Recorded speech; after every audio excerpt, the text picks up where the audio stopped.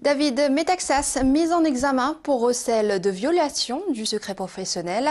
Hier, au terme de sa garde à vue, il a été placé sous contrôle judiciaire mais laissé libre.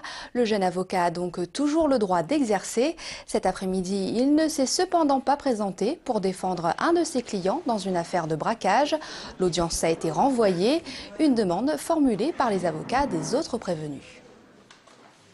Je pense que les tribunaux euh, et euh, les tribunaux lyonnais euh, notamment savent faire abstraction de ce qui n'est pas le dossier et de ce qui n'est pas la personnalité et les actes qui sont reprochés aux gens qui comparaissent devant eux. Nous estimons que la dignité d'un procès pénal, ça passe par la défense d'un prévenu. La défense d'un prévenu, elle passe aussi évidemment par le fait qu'il soit assisté par l'avocat de son choix. Il y a eu le temps de préparer le dossier dans des conditions convenables.